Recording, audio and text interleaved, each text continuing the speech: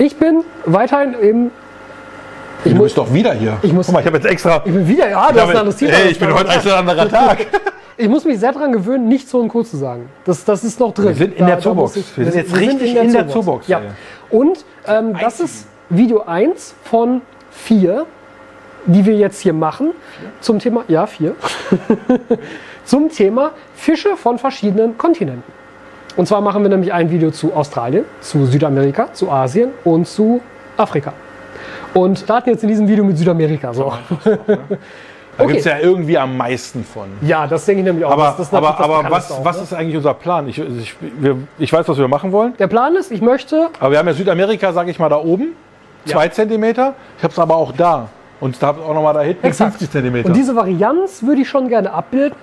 Und immer mit so eins, zwei, drei Okay. Dingen, die dir vielleicht entweder als sehr interessant vorkommen oder die du für vielleicht unterrepräsentiert hältst, die man vielleicht mal mehr ins Rampenlicht rücken wollte. Es müssen nicht die ganzen Standardsachen sein, weil die natürlich viele von euch sicherlich auch kennen werden. Aber dass man mal so einen Überblick darüber bekommt, völlig unabhängig davon, was für ein Aquarium man hat. Wenn man sich jetzt auf einen Kontinent spezialisieren möchte, was wäre möglich? Ah, okay. Ja gut, Südamerika sind wir jetzt im Thema drin. Ne? Also was halt mal so ganz besonders ist, Südamerika, für mich gibt es äh, so drei große Klassen davon, würde ich jetzt mal so behaupten. Ich muss jetzt, vielleicht revidiere ich das auch gleich alles wieder und erzähle was anderes, aber es gibt einmal die ganzen Salmler, ja, so Punkt eins. Dann gibt es die ganzen Buntbarsche, ja, allen voran die ganzen Zwergbuntbarsche, die, die ich besonders relevant und interessant finde.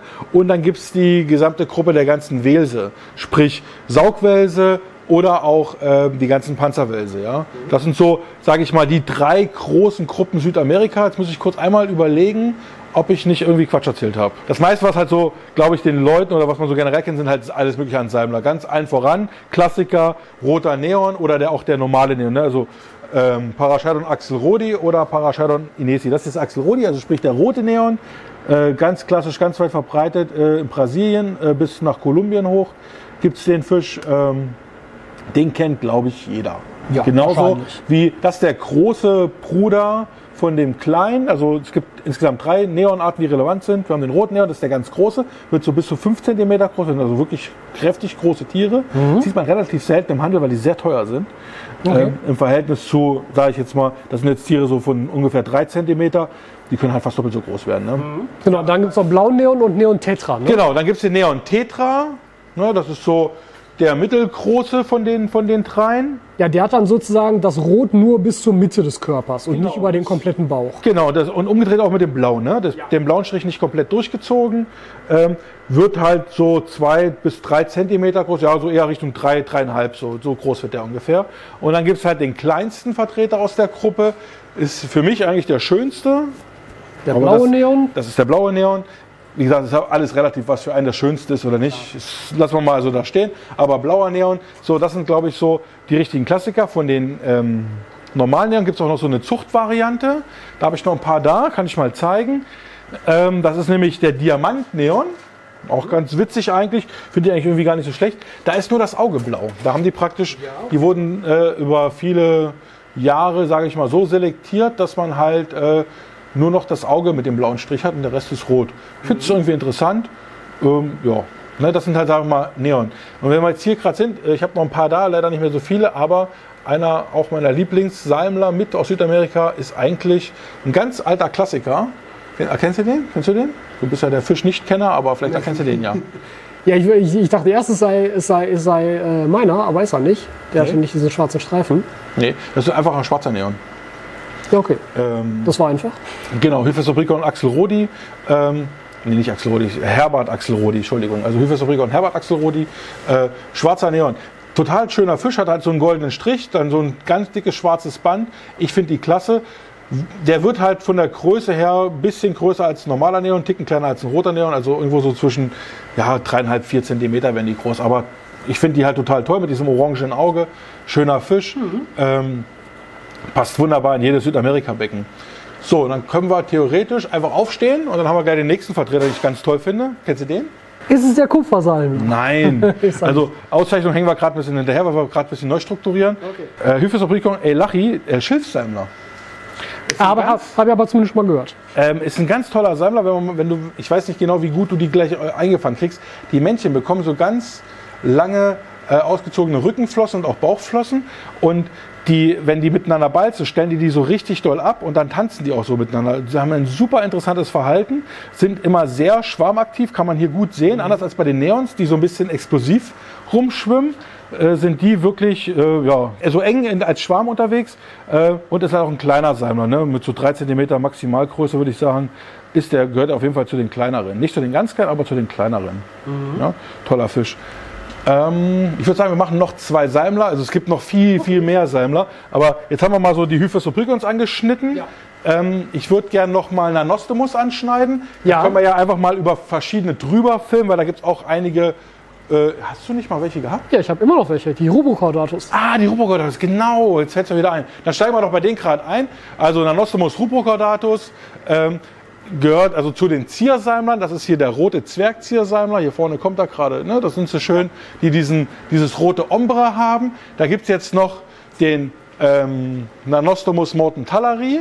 Ja, das ist so der, da oben ist ein sehr schöner Mann gerade. Purpur-Zwergziersalmler, also die werden extrem äh, dunkelrot. Mhm. Und es gibt noch zwei neue Sorten, wobei ich dir wahrscheinlich nur eine zeigen kann. Äh, das Nanostomus spez amaya, das ist der Full Red Tetra, ne? also äh, der komplett rote Zwergziersalmler. Mhm. Total toll, ist eine äh, neue, äh, Neuentdeckung aus dem letzten Jahr. Ja?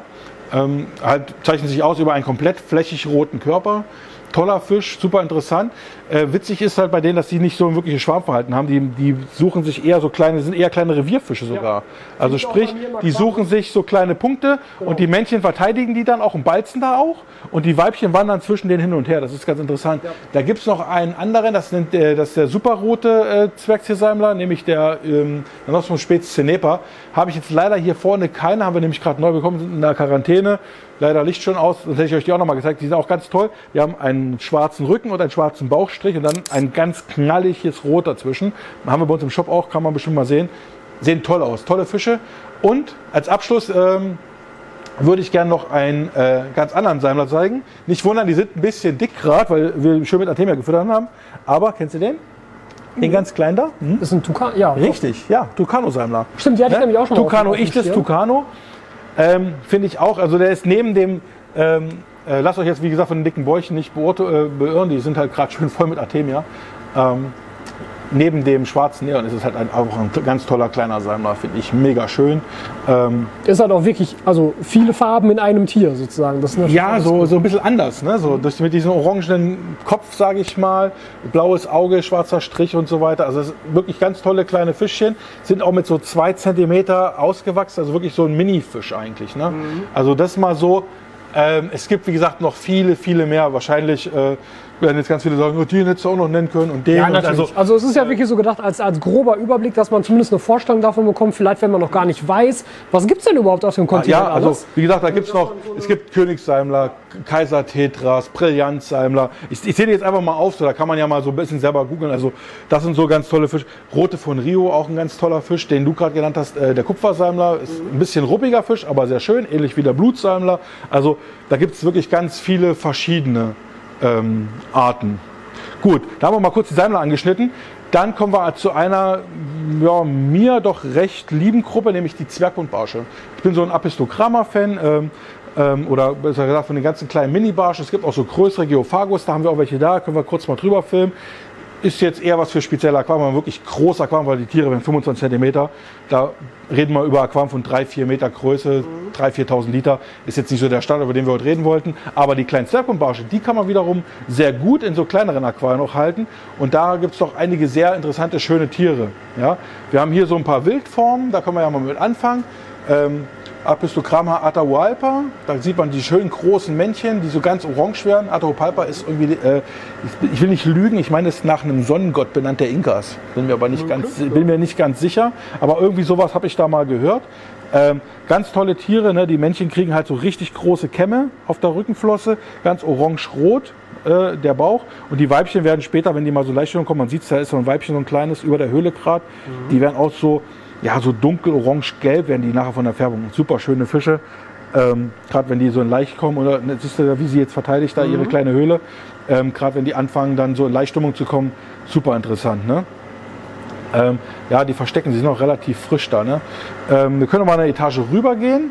Ich habe hier noch einen sehr schönen ähm, Apistocrama McMastery Super Red. Ja, das ist eine Zuchtform, die gibt es auch als Wildform. Ist dieser schon sehr ähnlich. Das Rot ist noch nicht so intensiv. Und in den Zuchten werden halt gern schon mal so Farben gerade rausselektiert. Ne? Aber ist ein toller Fisch, auch eher einer der also der Atoa Piper eben ist schon einer der größeren mit so 8, 9 cm. Der ist eher einer der kleineren, nur bis zu 6 cm. Ähm, kann man schön halten. Tendenziell hält man die so im Harem. Sprich, ein Mann mit mehreren Weibchen sind polygam. Das bedeutet, die Weibchen haben dann ihre, besetzen ihre Höhlen und das Männchen bewacht das große gesamte Objekt dann. Ne? So, okay. so, so, leben die eigentlich. Und der hat dann auch mit mehreren Weibchen zusammen Jungfische. Also das ist wirklich das ist so eine polygame Gruppe. Ein bisschen schwierig ist es, dass leider in den Nachzuchten die halt äh, immer sehr gleich ausfallen, man fast immer nur Paare bekommt. Also man kriegt selten wirklich einen Harem. Hm, okay. ähm, daneben haben wir auch noch einen schönen Vertreter, einen der kleinsten. Das ist Apistogramma Borelli Opal. Da gibt es auch einen normalen Borelli. Opal zeichnet sich durch diese schöne äh, Gesichtsmaske aus, also mit diesen, mit diesen blau-roten Mustern im Gesicht. Ähm, da, daran erkennt man den Opal, das ist halt das Männchen dann. Die sind jetzt halt noch relativ klein, die werden nur so drei, vier Zentimeter groß, die Männchen, die Weibchen sogar nur so zwei, zweieinhalb. Daneben ist gerade ein kleines Weibchen, kann man schön sehen. Ja. Ne? Hat halt nicht diese Gesichtsmaske und hat auch so eine ganz andere Körperzeichnung. Oft haben die Weibchen auch schwarze Brustflossen. Ne? Also man geht davon aus, die werden so richtig zitronig gelb, wenn die Babys haben. Und dass das wie so eine Art, naja, wie so eine Code ist für die, für die Babylarven, Babyfischchen, um halt zu erkennen, dass das die Mama ist und so weiter. Und also auch jeder Apistogramma hat auch eine andere Zeichnung von den, von den Weibchen her. Ne? Genau. Ähm, ja, da kommen wir noch zu, zu einem Klassiker, den vielleicht auch schon wieder viele kennen äh, Apistogramma caccadoides, hier jetzt in der Doppelrot-Variante, eigentlich schon fast dreifach rot. Doppelrot bedeutet Rückenflosse, Schwanzflosse rot. Äh, und die Afterflosse ist eigentlich, eigentlich dreifach rot, also sie sind nicht komplett gefärbt, deswegen gilt die als Doppelrot. Ähm, einer der weit verbreitetsten Caccados, äh, äh, Apistogrammas, die es eigentlich so im Handel gibt. Super schön, kann man halt auch gut vergesellschaften mit anderen Fischen. Ähm, klar, Thema Garnelen ist immer so, wird uns viel gefragt. Man muss halt wissen, jeder Fisch beißt in der Garnele rein, wenn er meint, er könnte die fressen. Klar. Und das ist halt immer so ein Risiko, muss man halt wissen. Hier nebenan habe ich noch, ist auch noch mal der gleiche Fisch, da in der Variante äh, Super Orange. Bedeutet praktisch, man sieht schon, der hat halt nicht mehr diese Maserung in den Flossen, sondern ist ein gleichmäßig durchgehendes, schönes Orange. Ja. Ja, ist also auch eine Zuchtform, ne? Genau. So, dann haben wir doch mal so einen kurzen Ausdruck noch zu Apistogrammas gemacht. So, und dann vielleicht auch noch so ein paar Sachen für die Leute, so 500 Liter, 1000 Liter. Da können wir gleich nochmal, wir können gleich mal hinten bei den großen Fischen nochmal gucken ja. gehen. Ich, wollte noch, ich, ich, hätte jetzt erstmal gerne noch Welse gesprochen. Okay, ja. Weil das so war, waren die drei Gruppen, die ich angekündigt habe. Ja. Und dann können wir ja nochmal über große Fische kurz reden. Also wir stehen ja hier von den schönen Skalaren, gucken wir gleich nochmal rein, ja? Okay. Aber Welse. Also, ich hatte gerade erklärt, es gibt halt zwei Gruppen. Es gibt einmal ähm, die Panzerwelse, ne? kann man eigentlich immer sehr schön erkennen. Das sind so kleine, es gibt Langschnauze und Rundköpfe, aber ich sage mal eher so rundköpfige kleine Wälse, die halt äh, vermehrt auf dem Boden leben, die auch wirklich Sandboden brauchen, um den Boden richtig schön durchzuwühlen. Ne? Mhm. Hier haben wir jetzt einen besonders hübschen Vertreter, das ist ähm, ein Corridoras Orange Laser nennt sich der oder, oder Gold Stripe auch genannt, auf den schönen goldenen Strich hinten am Rücken. Ähm, kommen aus, ich glaube jetzt Venezuela, ich will jetzt nicht lügen. Ähm, das sind aber hier Nachzuchten auf jeden Fall. Also die meisten Corridoras die man so bekommt, sind fast schon immer Nachzucht mittlerweile. Mhm. Da gibt es kaum noch Wildfänge oder sehr wenige, weil die halt dann relativ teuer wären. Aber das ist halt ein sehr schöner Vertreter da, dieser Goldstripe. Hier drüben haben wir einen, den ich wieder, also ihr werdet wahrscheinlich merken nachher, dass ich irgendwie auf die farblosen Tiere so stehe, aber das ist halt ähm, äh, der Juli, also oder Leopardpanzerwels. Ne? Auch so ein ganz toller Vertreter eigentlich dieser, dieser Gruppe. Sind, ihr seht schon, sind halt Schwarmfische, die halt immer in so einer Gruppe leben, weil denen die, die kriegen da die Sicherheit. Ne? Ja. Sprich, äh, viele Augen sehen viel und dadurch äh, sind die Tiere halt deutlich aktiver. Ne? Genau. Ähm, hier können wir auch gerade schön sehen, haben wir auch noch den anderen Vertreter, den ich gleich auch noch drauf eingehe, nämlich Saugwelse. Ja? Das ist jetzt hier ein L153, äh, 183, das ist ein sogenannter Weißsaumanzistus. Also der hat jetzt nicht die Weißpünktchenkrankheit oder sowas, sondern der Fisch sieht so aus. Mhm. Ganz schwarzer Fisch, der hat viele weiße Pünktchen und wenn wir den jetzt mal von der Seite sehen könnten, man sieht so ein bisschen an den, an den, an den Rändern der Flossen, die haben nachher so einen weißen Saum. Mhm. Aber da, da, da, gucken wir uns gerne noch mal ein paar schönere an oder ein paar andere.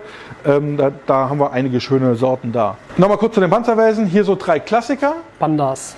Wunderbar, guck mal, ja, das die kennst sogar ne? du, ne? Corridoras Panda, so mit einer der meistverbreitetsten, glaube ich, die auch sehr bekannt sind. Genauso wie nebenan der Nachbar, nämlich äh, finde ich auch recht hübsch, ist der Marmorpanzerwels, Corridorus Paleatus. Das finde ich sehr interessant. Ja, das ist eine ganz coole Farbe. Ähm, ja, der hat so einen Blauglanz auch wieder auf dem dunklen Flecken drauf. Ne? Ähm, sind auch Nachzuchten natürlich. Also das sind halt wirklich alles Nachzuchten, die kriegst du, glaube ich, so gar nicht mehr als Wildfang. Oder das lohnt sich wahrscheinlich gar nicht, die zu importieren, aber da wird halt wirklich auf Nachzucht gesetzt. Tolle Fischchen. Ähm, wichtig ist bei den ganzen Panzerwälzen, hier drüben können wir nochmal den normalen Metallpanzerwälz zeigen. Das ist so ähnlich wie der Goldstadt, den wir gerade gesehen haben. Ähm, das ist halt jetzt so ein ganz normaler Panz äh, Metallpanzerwälz. Was ich gerade sagen wollte, ist wichtig ist halt, Panzerwälse sind keine Restevertilger, also man muss die wirklich aktiv füttern. Ja? Also die Fische können sonst auch schon mal schnell verhungern. Ja? Also da sollte man schon gucken, dass man da auch wirklich die beifüttert, dass sie auch wirklich was abkommt. Ach, guck mal, hier sieht man es gerade, wie schön sie ihre Nase in den, in den Boden reinrahmen. Ne? Musst du mal gucken, ah, jetzt hört er wieder auf. Ja, aber hatte, hatte, ich, auch, hatte ich auch gerade schon einmal. Ah, okay, wunderbar. Ah, ja, ja. Also das sieht man schon, dass sie wirklich den Boden praktisch nach so kleinen Würmern und Mollusken oder was weiß ich auch immer durchsuchen Ja. und äh, ähm, ja wirklich da auf der, auf, der, ja, auf der Jagd sind oder auf Futtersuche halt. Also wichtig ist auf jeden Fall gut zufüttern. Und dann will ich noch von den Panzerweisen noch einen recht hübschen zeigen, so zum Abschluss. Kennst du den auch schon? Nee. Corridoras Equus oder auch, auch schön. Dreieckspanzerwels genannt. Ja, da ist er. Wunderbar. Ähm, Corridoras Equus. Also ich finde einer mit der schönsten Panzerwälse. Ich finde diesen Smaragd-grün-schwarz mit dem orangenen Band an den Augen. Also ist wirklich ein ganz toller Wels. Ich muss auch gerade so ein bisschen überlegen. Ich finde es tatsächlich recht schwierig, die Farbe einzuordnen. Mein erster Impuls war auch grün, Mhm, ja, aber es ist auch blau irgendwie. Also Ja. Also für mich sieht es aus wie so ein schwarzer Körper, der so ein Smaragd oder ja gut, die Seitenplatte sieht eher türkis schon wieder aus. ja, ne? Also ganz interessant. Okay, jetzt können wir hier so einen Farbtest machen. Naja, okay. Ähm, auf jeden Fall einer mit der schönsten äh, Panzerwälse, finde ich, die so, die es so gibt am Markt. Ähm, lässt sich auch toll halten. Kommt auch aus Brasilien, also schöner Fisch. Ne? Ja, wir können aber gleich hier bleiben. Ich habe hier so einen ganz urigen Vertreter, die haben wir vorhin schon mal geguckt. Ja, ne? ich gerade schon gesehen, diese Äh, hier drüben, Dinger hier. da drüben liegt auch nochmal, ich kann da mal, ich kann da mal rausholen. Ähm, das sind sogenannte Chamäleonwälse. Ganz wichtig bei denen ist, die brauchen halt wirklich einen Boden, wo sie sich schön eingraben können. Ne? Ja, weil der ist dann gleich direkt wieder weg. Ja, jetzt hier die Großen nicht so, die haben nicht so viel Angst, aber die Kleinen schon eher. Aber ganz tolle Wälse, die auch sehr differenziert sind. Ne? Dieser jetzt hier zum Beispiel hat ein sehr starkes Marmormuster vorne im vorderen Bereich mit einem, mit einem schwarzen Band. Wenn du jetzt hier hinten mal guckst zum Beispiel, ich weiß nicht, ob die deswegen vielleicht auch Chamäleonweise genannt werden in Deutsch. Ja, der ist schon sehr schwarz. Ne? Genau, der ist komplett, der ist komplett dunkel im vorderen Bereich. Der hat dann praktisch die kleinen Marmor als Band. Ja. Guck mal, jetzt ist er weg. Guck mal, da, da, da, da, jetzt. Ja, jetzt Ah, zieht er schade. sich hat, man, hat man nicht mehr gesehen, wie er sich gerade einmal in den Sand rein. Genau. Wir haben hier vorne auch noch welche, ne? Guck mal. Äh, also die variieren wirklich ganz extrem. Jetzt muss ich mal gucken, wo ob wir mal hier einen finden überhaupt. Wir haben vorhin haben wir schon mal Stimmt, gesucht. wir haben vorhin auch hier, mal guck mal, da liegt er. Ja. Siehst du? Ne? Ich gehe mal kurz rein. Da. Seht ihr ihn? Wer hat ihn gesehen? Es ist nicht der hier. Aber da kommen die Augen. Und da ist er. Ja, da ist er nochmal ein klein. Und die variieren wirklich ganz stark. Jetzt sieht er nochmal ganz genau aus wie die großen, aber wir haben vorhin schon noch gesehen. Zack, weg war er. ähm, also das, da sieht man auch auf jeden Fall, das ist ein Fisch, der auf jeden Fall einen schönen sandigen Boden braucht, auch einen feinen sandigen Boden. Und die variieren wirklich, die sind teilweise so, so halb schwarz, halb weiß und dann, also ganz irre Farben gibt es davon. Ähm, da muss man halt mal gucken. Ist natürlich was für absolute Liebhaber. Das haben wir ja vorhin schon gesagt. Ist ein Fisch, den kauft man sich. Man denkt, man hat nie wieder was davon. Und muss man halt beobachten. Ich finde es immer total spannend, die wiederzufinden, weil auf den, man sieht eigentlich immer nur hier, da, guck mal, liegt der nächste. Man sieht ab und zu so ein Ne, dann Augenpaar. sieht man Ne? so ein Augenpärchen, ja, dann, dann weiß man, ah, da liegt er. Aber du hast ja auch schon gesagt, beim, beim Füttern kommen sie dann eh raus. Ja, also genau, die fütterst du halt am ehesten mit Würmern und sowas, also Tubifex oder, oder, oder Glanzwürmer oder sowas. Und das holen die sich dann, ne? deswegen die buddeln sich dann an und gehen auch durch den Boden durch. Und also ich finde die super interessant, super schön, super spannend, Ja, das ist einfach cool. toll. Ja, was haben wir denn noch so für Vertreter? Hier, wunderschön, zeigt er sich gerade. Ein blauer, ein blauer Phantomwels. Ja. Ähm, total toll. Ähm, ist L128, einer mit der schönsten Vertreter. Ähm, einer der wenigen wirklich auch noch blauen Wälse, ne, wo man das auch schön sehen kann. Also einfach wirklich tolle Fische. Dagegen gibt es dann noch, das ist praktisch der blaue Phantomwels. Und dazu gibt es noch den gelben Phantomwels. Suchen wir gleich nochmal. Ich habe hier noch einen. Ne, das ist L81, Golden Nugget. Das sind jetzt alles nichts super Besonderes. Also das findet man auch häufiger und öfter. Aber es sind halt trotzdem sehr, sehr schöne Tiere. Ne? Dann haben wir natürlich noch den, den du früher hattest. Pecoltia kommt da. Pecolt, der kommt da, da unten sitzen sie. eine ganze große Bande. Also auch wirklich einer der mit schönsten Wälse, finde ich überhaupt. Mhm. Also mit so einem tollen, ähm, kontrastreichen Muster, mit diesen schönen Bändern und so weiter. Ich finde die super klasse. Ähm, Auf jeden Fall, also ich hatte ja auch viel Freunde da drin. Relativ einfach zu halten. Äh, ist ein Allesfresser, ja, futtert irgendwie alles. Äh, Pflanzen muss man halt so ein bisschen aufpassen, ist so ein bisschen bedingt.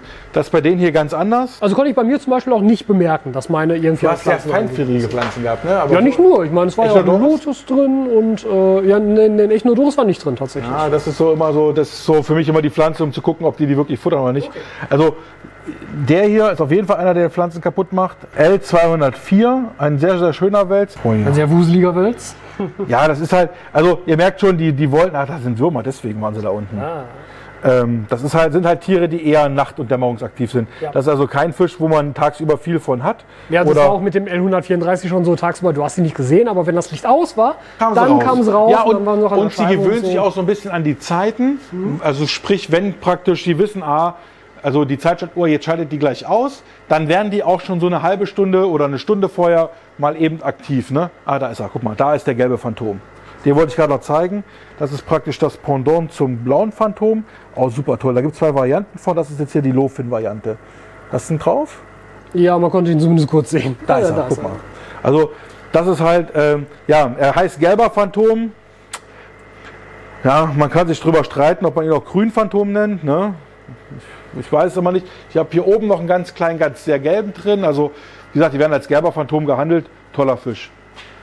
So, jetzt machen wir noch äh, zwei, drei so ein bisschen abgespacede Arten ja. an den Welsen. Dann sind wir, glaube ich, auch mit Südamerika gut durch. Was auf jeden Fall mega genial ist, was ich lange nicht hatte, ähm, oder was ich das erste Mal in dieser Größe überhaupt habe, ähm, Nadelwälse. Ähm, das ist oh, Phalovella platystrinus, also ein Langnasen-Nadelwels. Man sieht, die haben halt so ein großes, langes Rost rum, ähm, womit die ähm, wahrscheinlich, also wir vermuten das, auch damit durch den Boden so gehen, mhm. den so auffinden und dann auch da wieder aktiv nach, ja, ich sag jetzt mal, wieder Würmern, Mollusken, was auch immer, also Nahrung suchen im Boden. Also deswegen auch da hier wieder ein sandiger Boden, wo die den dann schön durchwühlen können. Ne? Mhm. Ein Klassiker auf jeden Fall, der genannt werden sollte, finde ich, sind Otocinclus affinis oder Otocinclus vitatus, also sprich der kleine Orgita-Harnischwels, sehr bekannt. Ähm, wichtig ist bei den, ich finde, es sind Nahrungsspezialisten, das sind also keine Tiere, die man in frische Aquarien setzt, sind keine Tiere, die man ähm, also man muss die halt wirklich verpflegen. Also da muss man Zucchini füttern oder Salat oder wirklich Algensteine vorbereiten, dass sie wirklich viel zu essen bekommen. Ne?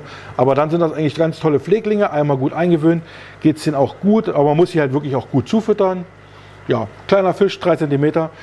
Ähm, dann zeige ich noch zwei Vertreter aus denen, weil die so ein bisschen besonderer sind. Wir haben einmal also zwei Paar Autozinklus. Der eine ist äh, Bahaensis. Den hatte ich in dem anderen Video schon mal gezeigt, aber der passt jetzt hier wunderbar mit rein. Das ist auch so ein kleiner Zwergschilderwels. Ähm, ja, aus der Gattung Paraotocinklus. Der hat keinen richtigen deutschen Namen. Ähm, auf jeden Fall, was ich erkannt habe hier, sind auch super gute Algenfresser. Wie man sieht, die ganze Wurzel war mal grün, haben sie wunderbar abgeweidet, mhm. haben halt eine schöne Körperzeichnung, ne, sind halt so ein bisschen grünlich-braun mit diesen Flecken drauf. Und ähm, der hat noch einen auch recht bekannten Bruder, der als letztes Jahr auch wieder ein bisschen ja, zurückkam ins Hobby. Oh, das ist auch nochmal ein schöner Phantom, ey. Wow, der liegt richtig schön da. Da kann man halt sehen, warum der gelber Phantom heißt. Ne? Also ja, da, das ist schon sehr gelb. Also, ja, die variieren sehr stark. Von wirklich diesem Grün, was du vorne gesehen hast, bis hin zu so gelb. Ne? Mhm. Die können teilweise noch heftiger gelb sein. Also wirklich tolle Sachen. Ähm, genau, und dann haben wir zum Abschluss noch den letzten kleinen Saugwels, nämlich äh, Pardocinklus haroldoi. Den kennen vielleicht ganz viele schon. Martin hat ihn auch schon mal nachgezüchtet und so weiter. Einer, einer der ja, vielleicht schönsten Neuerungen oder Neu Neuentdeckungen so aus den letzten Jahren oder Wiederentdeckungen der letzten Jahre. Ne? Sind ganz kleiner, äh, maximal so zweieinhalb, drei Zentimeter großer Zwergschillerwels, pechschwarz mit weißen Punkten. Einmal eingewöhnt, toll zu halten. Man sieht übrigens gerade auf, auf der kleinen Höhle, wie toll die auch die Algen fressen. Also dieses Helle mhm. haben die quasi schon abgeweidet. Ne? Mhm. Ne?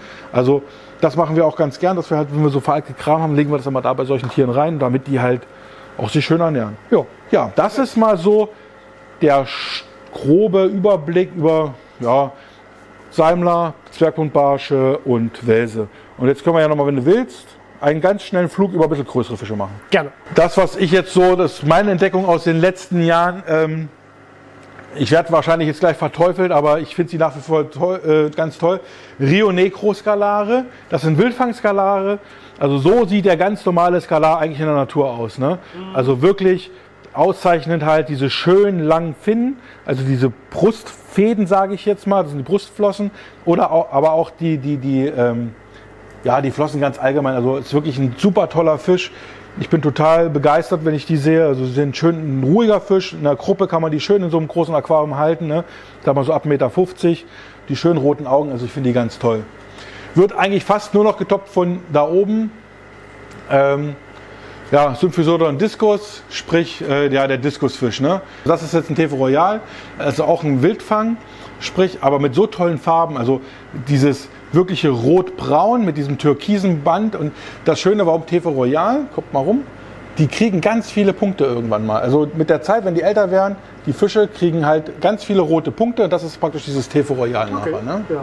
Ja. Äh, auch nur was für wirklich große Aquarien. Ich würde mal so ab 500 Liter sagen. Ja. Nebenan ähm, vielleicht einer der mitgrößten Tiere, die es so äh, im Aquarium aus Südamerika gibt, was so regelmäßig gehalten wird. Äh, Therophyllum altum, der Altumskalar. Mhm. Ähm, sind hier noch, ja, was haben sie jetzt? Äh, Körper vielleicht so 6 cm ne, im Durchmesser ungefähr. Mhm. Das wären Tiere, die können bis zu 70 cm hoch werden. Ja. Also von äh, äh, Ende Bauchflosse oder Afterflosse bis hin zur Rückenflosse können die wirklich so 70 cm hoch werden. Also die brauchen wirklich so Aquarien so Meter hoch, Meter 20 hoch. Das Aber sind das halt sehr vertikale Tiere. Ja, also ne, ey, die haben halt viel Höhe. Die werden sehr beeindruckend. Die kriegen so eine ganz ganz enge Stirn. Aquarium auf Instagram, der Dirk, der hat so ein Altum-Aquarium. Da kann man, der hat schon relativ groß in seinem riesengroßen Aquarium sitzen, da kann man das schon mal schön sehen. Wirklich tolle Tiere, sehr beeindruckend, aber ich finde Skalare allgemein, viele finden die sehr langweilig. Ich finde schon, dass sie eine gewisse, ja, majestätisch, majestätisch sind. Also die haben schon so eine, ich finde sie toll. Das sind tolle Fische, die einfach eine gute Ausstrahlung mitbringen. Mhm. So, dann können wir noch mal ganz nach hinten gehen. Hier waren wir gerade schon mal. Da haben wir gerade mal den gelben Phantom abge, abgefilmt. Hier haben wir noch ein paar Fische, die auch relativ groß wären. Ähm, Geophagus altifons, also das sind sogenannte Erdfresser. Ja, also man sieht schon, die Fische sind halt sehr bodenorientiert. Man kann auf dem Boden auch schön die Löcher sehen. Die kauen den, den Sand so richtig durch und suchen nach Futter. Ähm, so Fische füttern wir halt ganz gern mit ähm, so Glanzwürmern oder sowas, also Sachen, die halt im Boden verschwinden und dann, seht ihr das, jetzt hat der eine das gerade gemacht, die nehmen dann den, den, ja, den, den Sand in den Mund und durch die Kiem wird er dann wieder ausgeschieden. Ähm, das soll wohl auch für die Kiemreinigung mit dazu sorgen. Also wirklich tolle Viecher. Die sind hier halbwüchsig, also die werden ungefähr 25 cm groß. Ich schätze, diese haben jetzt hier so um die 10. Mhm. Ja, wird aber ganz toll. Also die kriegen diese schön orangenen Flossen. Man sieht schon die Zeichnungen in den, in den Flossen drin. Und dann kriegen die so ein, Glanzflo so ein Glanzschuppenmuster auf dem Körper. Wirklich ganz tolle Tiere, werden halt relativ groß. Ähm, der vielleicht noch etwas schönere Vertreter ist Geophagus zwenni. Da hinten steht er. Jetzt, kommt, jetzt haut er natürlich gerade ab. Sind ein paar mehr. Da kommt er wieder vor. Ähm, der zeichnet sich halt komplett durch diese ganzen Glanzschuppen aus. Ne? Ja. Wird auch so 20 cm groß, also werden auch relativ große Tiere. Sehr friedlich, kann man eigentlich auch mit vielen anderen Fischen zusammenhalten. Wichtig nur hier ist auch, ganz kleine Fische sind halt auch Opfer, die werden dann auch gegessen. Also mit Neon wird das nichts. Man muss dann auch dementsprechend große Beifische haben. Ne? Da gibt es dann verschiedene große Sammler, die man da dazusetzen kann. Das passt. Ne? So, dann haben wir hier noch äh, der hätte damals auch in dein, in dein, in dein Biotop-Aquarium gepasst. Das ist äh, Tapaios Redhead, also mhm. auch ein Geophagus. Zeichnet sich halt aus durch diese schöne orangene Stirn, kriegt dann halt auch so ein schönes Zeichnungsmuster. Auch noch halbwüchsig, ne? also die werden auch gut doppelt so groß. Also ähm, so auch an die 20 cm können die werden. Also ganz tolle Fische. Und die halt im Alter halt immer wieder dieses starke Orange kriegen auf der Stirn. Und wenn die so richtig in Stimmung kommen, dann leuchtet das sogar so richtig. Also es ist unglaublich, wie intensiv, fast so wie so Neonfarben wird das okay. nachher. Ne? Ganz toll. Ja, und dann haben wir doch so ein paar große auch mal gesehen. Ja, das war doch schon mal ein schöner Überblick auf jeden Fall. Ich denke auch. Ja, genau. Was ich noch kurz zeigen wollte, weil wir gerade bei Großfahren, halt gibt es auch noch diese ganzen Zuchtformen von den Skalaren. Ne? Es gibt hier so ganz weiße Platinum-Skalare oder äh, schwarze Marmor-Skalare, die Golden Red King-Skalare oder dann halt auch farbig, ne? Äh, die roten, die Red Devil Skalare. Das sind halt aber so Zuchtformen. Ne? Man sieht halt da leider auch schon auch an der Körperform, dass sie halt nicht mehr so diese wirklich schön ausgeprägten Flossen halt haben. Ne? Mhm. Das ist leider bei den, bei den Zuchten halt, bei den Nachzuchten so ein bisschen die Sache. Aber trotzdem schöne Tiere. Ja. Ja, super. Dann haben wir doch einen guten Überblick, glaube ich, so über Südamerika gehabt. Langer Ausflug. Auf jeden Fall. Ja, Aber, aber, ich glaube, es ist auch mit die größte Gruppe, wo wir am meisten erzählen Wollte ich gerade sagen. Die, schauen wir mal, was die anderen Kontinente so bringen. Ich, mehr im nächsten Video auf dem nächsten Kontinent. wo fliegen wir hin? Ich denke, als, ja, würde ich auch sagen. Weiß nicht. Also wir fliegen jetzt von, von, von Amerika, fliegen wir nach Australien, dann könnten wir danach nach Asien fliegen und zum Abschluss Afrika machen. okay, dann machen wir es.